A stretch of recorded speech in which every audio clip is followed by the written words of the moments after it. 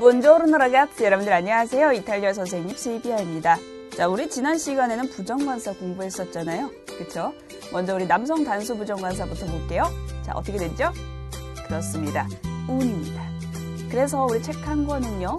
un libro un libro 이렇게 됐고요. 우리 여성 단수 부정관사는 una가 되겠습니다. 그럼 집 한 채는요? 그쵸?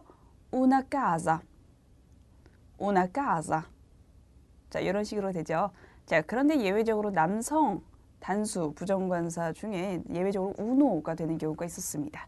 자, 두 가지 그룹이죠. 첫 번째 에세 플러스 자음이어서 우리 한 남학생 uno studente uno studente 그 다음에 이제 두 번째가 zeta로 시작하는 경우 우리 배낭 하나 uno zaino uno zaino 자 이렇게 됐었습니다.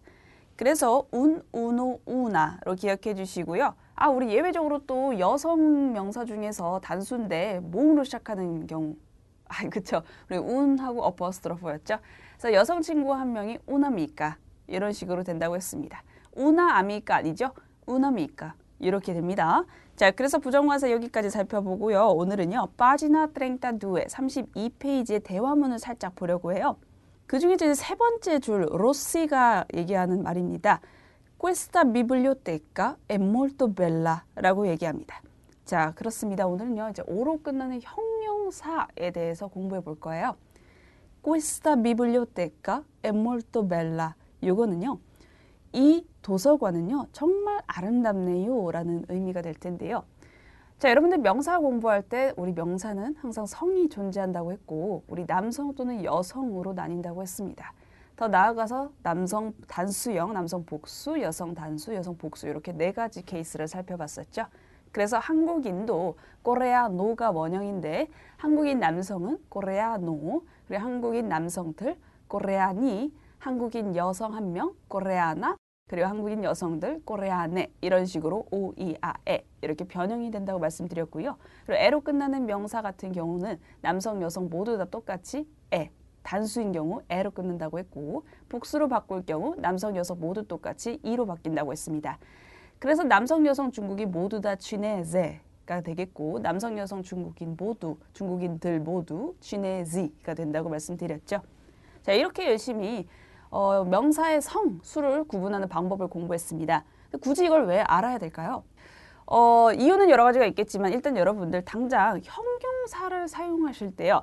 형용사의 역할이 뭐예요? 명사를 수식해 주는 친구들이잖아요. 이렇게 형용사를 사용할 때 반드시 어, 명사의 성수를 잘 알고 계셔야 됩니다. 그 이유는 그 형용사는요. 수식해 주는 명사의 성수에 맞춰서 성수 일치를 또 해줘야 되거든요. 대박이죠. 그죠? 여러분들 이제 지금 관사에 익숙해지려고 하는데 갑자기 또 형용사까지 성수일치를 해줘야 된다고 합니다. 그래서 기초 단계가 제일 어렵고요. 요것만 넘기면 쉽습니다. 요것만 넘어가세요. 아시겠죠? 자, 포기하지 마시고. 자, 먼저 형용사는요. 우리 오로 끝나는 형용사와 에로 끝나는 형용사가 있습니다. 자, 오로 끝나는 형용사는요. 우리 수식해주는 명사의 성수에 맞춰서 오, 이, 아, 에 이런 식으로 어미를 바꿔주시면 되겠는데요. 자, 예를 들면 아름다운 또는 멋있는 이라는 형용사 멜로가 존재합니다. 이 친구 남성 단수 명사 우리 수식해 줄 때 그냥 멜로 사용하시면 되겠습니다. 그래서 남성 우리 라가쏘였죠. 그래서 잘생긴 남성은 라가쏘 벨로라고 하시면 되겠습니다. 라가쏘 벨로 이런 식으로 라가쏘 벨로 하시면 되겠고요. 우리 벨로가 우리 여성 단수 명사를 우리 수식해 줄 때는 벨라가 됩니다. 그래서 아름다운 여성 하면요. ragazza bella가 되겠죠. ragazzo bello, ragazza bella. 그 다음에 그럼 남성 복수 명사로 수식해 줄 때는 belli가 되겠죠. 그래서 ragazzi belli 이렇게 되고 그럼 여성 복수 명사로 수식해 줄 때는 belle가 되겠죠. 그래서 ragazze belle 이렇게 되겠습니다. 그래서 bello, belli, 벨라, 벨레 이런 식으로 마지막 모음이 오, 이, 아, 에 이런 식으로 변형이 된다는 것도 똑같네요. 그렇죠? 그 점은 어렵지 않습니다. 자, 그런데 이제 에로 끝나는 형용사는요. 똑같이 남성 단수, 여성 단수 수식해줄 때 똑같이 에로 끝납니다. 예를 들면 그란데라는 형용사가 존재합니다. 우리 큰이라는 형용사거든요. 커피 좀 마신 분들은 그란데 사이즈 주세요. 한 번쯤 외쳐보셨을 거예요. 바로 그 그란데가 큰이라는 형용사입니다. 그래서 그란데 우리 큰이라는 형용사는 에로 끝나는 형용사여서요. 큰 남성이라고 하면요. ragazzo grande 하시면 되겠고 큰 여성 하면 ragazza grande라고 하시면 되겠습니다. 근데 문제는 여러분들 그란데의 의미를 잘 알고 계셔야 되는데 그란데는 전반적으로 큰 겁니다. 컵이 그란데하다는 거는 그냥 키가 커졌을 뿐만 아니라 뭔가 이런 좀 전체적으로 커진 컵이잖아요. 키가 크다 할 때는요 알토를 사용합니다. 아시겠죠? 그래서 라가츠 알토는 키가 큰 남성, 키가 큰 여성은 어떻게 될까요? 네, 맞추신 분들 대단하십니다. 라가츠 알타 또 이때도 형용사 성수일치 해줘야겠죠. 그래서 알토라는 형용사를 사용하지 그란데라는 형용사를 사용하지 않아요. 키를 언급할 때는. 그래서 이제 라가츠 그란데, 라가짜 그란데 이런 식으로 애형 형용사는 남성, 여성 상관없이 모두 다 그란데, 에로 끝난다. 요거 주의해 주시고요. 복수형은요. 그란디가 돼요. 에에서 이가 되거든요. 그래서 ragazzi grandi가 되겠고 ragazze grandi가 됩니다. 자, 그래서 우리 크게 형용사 두 가지 살펴봤습니다. 오로 끝나는 형용사와 에로 끝나는 형용사를 살펴봤는데요. 오로 끝나는 형용사 우리 수식해주는 명사가 우리 남성, 여성, 그리고 단수, 복수 이런 식으로 표를 나눠서 우리 어, 벨로라는 형용사 봤었죠. 그래서 벨로, 벨리, 벨라, 벨레 이런 식으로 바뀝니다. 그래서 우리 이탈리아어로 또 유명한 말이죠. 아벨라, 아벨라 이것도 다 알고 계시더라고요. 근데 왜 아벨라가 되는지 모르겠는데 에벨라가 더 맞는 말이겠죠. 자, 벨라 여성분들에게 여성에게 아름답다라고 얘기할 때 벨라라고 하셔야겠죠. 그래서 차오 벨라 이렇게 얘기 많이 합니다. 안녕 이쁘니가 되겠네요. 되게 이상한데 해석하니까. 자, 아무튼 짜오 벨라 그리고 남성에게 할 때는 짜오 벨로 이렇게 인사합니다. 그래서 이제 오로 끝나는 형용사 이렇게 살펴봤는데 오늘의 문장 questa biblioteca molto bella라고 했어요. 자, 여러분들 여기서 또 questo가 나오는데요. questo가 지시 형용사 또는 지시 대명사입니다. 여러분들 이제부터 형용사라는 말이 나오면요 등골이 서늘해져야 돼요. 음, 왜냐하면 우리 명사의 성수에 맞춰서 또 성수 일치를 해줘야 되거든요.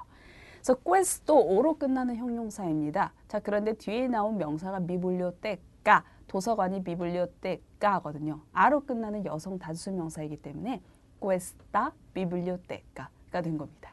그래서 우리 questo도요. 지시 형용사로서 사용할 때 뒤에 수식해주는 명사 성수에 맞춰서 꼭 성수일치 해주셔야 됩니다.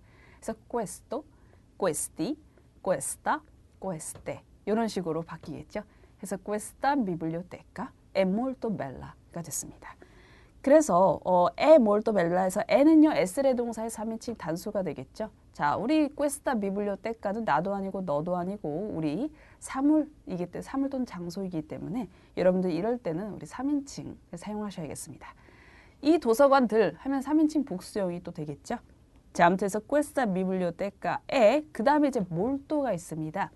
몰도는 매우 또는 많은, 많이라는 우리 부사예요. 부사. 매우 아름답다 할 때 molto bella 하시면 되겠는데요. 부사는 또 성수일치를 하지 않습니다. 부사는 형용사 또는 동사로 수식해주는 역할을 하는데 이 부사 같은 경우에는요 성수일치를 하지 않아요. 자 그런데 그 아래쪽을 보면요 몰딜리브리라고 해서 이건 또 성수일치를 해줬네요. 네, 몰도가요 형용사로도 사용하거든요. 만은이라는 형용사라는 의미가 또 있습니다. 형용사적 의미가 또 있거든요. 그래서 몰티 리브리 하면 많은 책들이 되겠어요. 자, 아무튼 그런데 부사는 성수일치하지 않는다. 그래서 몰타벨라가 아니라 몰토벨라가 되겠습니다. 자, 다시 한번 이 도서관은 정말 아름다워요. Questa biblioteca è molto bella. Questa biblioteca è molto bella. 자, 그럼 여러분들 이 도서관은 정말 커요. 어떻게 될까요? 그렇죠? Questa biblioteca è molto grande. Questa biblioteca è molto grande. 자, 이런 식으로 되겠죠? 자, 여러분들에서 오늘 형용사 배웠습니다. 오로 끝나는 형용사와 에로 끝나는 형용사, 그리고 우리 오로 끝나는 형용사 벨로와 questo 배웠는데요. 자, 벨로 우리 명사 성수에 맞춰서 벨로, 벨리, 벨라, 벨레 요 중에 잘 골라주시면 되겠고 우리 questo도 명사 성수에 맞춰서 questo, questi, questa, queste 이런 식으로 잘 바꿔주시면 되겠습니다. 자, 에로 끝나는 형용사는요. 남성, 여성 상관없이 단수인 경우에 그란데가 되겠고 복수형으로 되면 남성, 여성 모두 똑같이 그란디가 된다는 것까지 잘 기억해 두시기 바랍니다. 자, 오늘의 문장 questa biblioteca è molto bella 잘 기억해 두시고요. 복습 잘 해 주시기 바랍니다. 고생하셨어요. 차우 차우 ci vediamo.